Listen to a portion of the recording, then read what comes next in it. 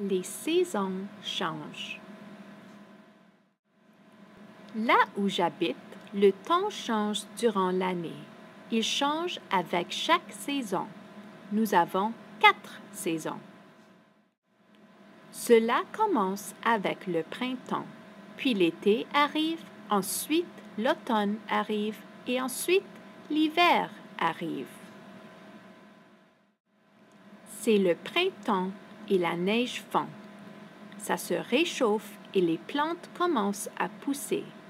Les jours s'allongent et les nuits se raccourcissent. Je porte une veste. C'est l'été. Il fait chaud et les plantes continuent de pousser. Les jours sont longs et les nuits sont courtes. Je porte un short.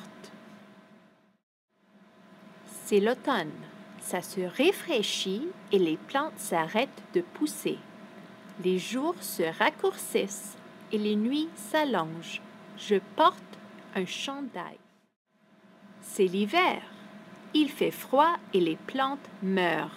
La neige commence à tomber et les jours sont courts. Je porte un manteau. Le temps a changé avec les saisons.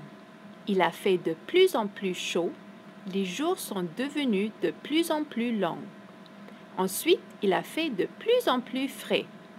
Les jours sont devenus de plus en plus courts.